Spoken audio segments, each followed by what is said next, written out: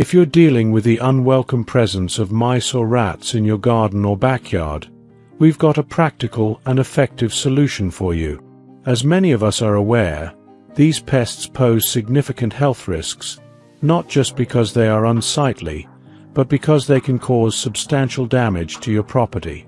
Mice and rats are notorious for gnawing on anything they can find, whether it's wood, cardboard, or even electrical wires, leading to potential fire hazards and structural damage. Beyond the physical damage, one of the most concerning issues with rodents is the array of illnesses they can transmit to humans and pets. These pests are carriers of dangerous diseases, which they can spread through their droppings, bites, urine and feces. The health implications are serious, ranging from minor infections to severe illnesses.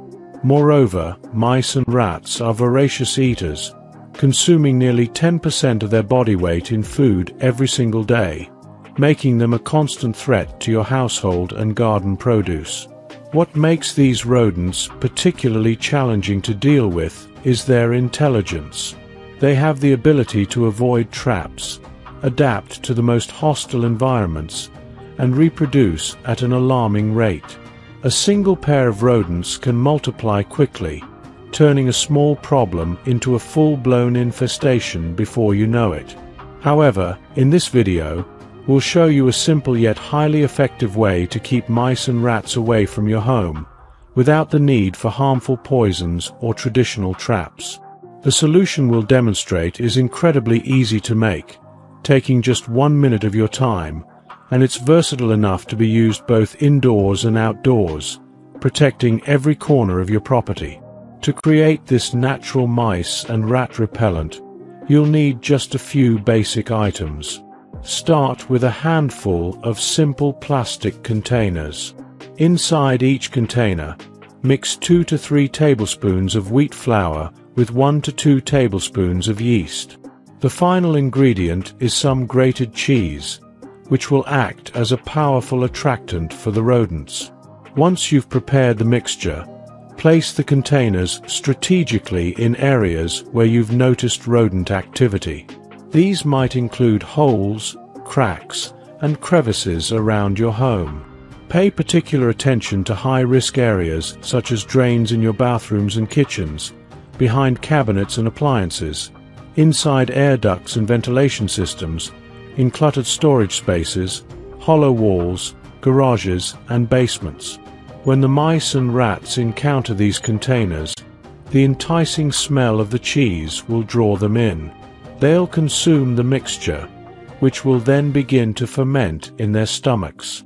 Unable to digest it, the rodents will ultimately suffocate, providing a humane yet effective solution to your rodent problem. Additionally, this mixture can be sprinkled in hard-to-reach places or scattered around your yard to increase its effectiveness. This method ensures that even the most elusive rodents are tempted by the bait.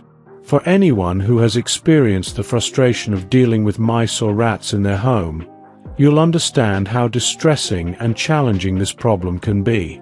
If you're looking for more tips and techniques to keep these pests at bay, we invite you to subscribe to Natural Health Remedies and explore our other videos for additional solutions. Thank you for watching, and we hope this video helps you regain control of your living space. Goodbye for now, and stay tuned for more helpful content. If you enjoyed watching this video, don't forget to like subscribe and turn on the notification bell, so you don't miss any new videos. Let us know your thoughts about this video in the comment section down below and feel free to stay and enjoy it until the end. Also make sure to check out our next highlighted video, and we will see you next time. Thanks for watching. Please like, share, and subscribe.